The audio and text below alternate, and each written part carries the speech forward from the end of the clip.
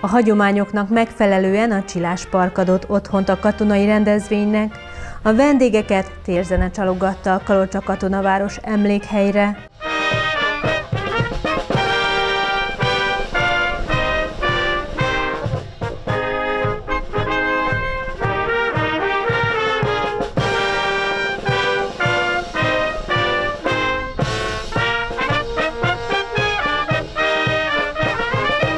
Csapat, tehát a légvédelmi rakétaezredés, a jogelőd légvédelmi tűzezredés egy, mint említettem, harcoló alakulat volt, de olyan kis létszámú, és a, nagyjából a fele-fele hivatásos, fele sorállományú, egész baráti kapcsolatok alakultak ki, hiszen most is jelen lesznek hivatásos és sorkatonák is, akik, hogy úgy mondjam, örök életre szóló katonabarátságot kötöttek, és ezt a hagyományt ápoljuk, és amíg élünk, addig fenntartjuk. A megemlékezés katonai tiszteletadással vette kezdetét.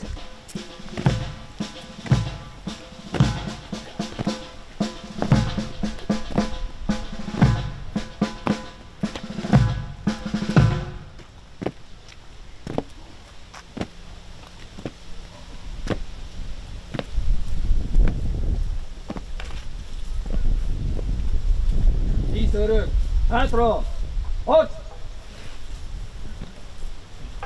Iga, vagy!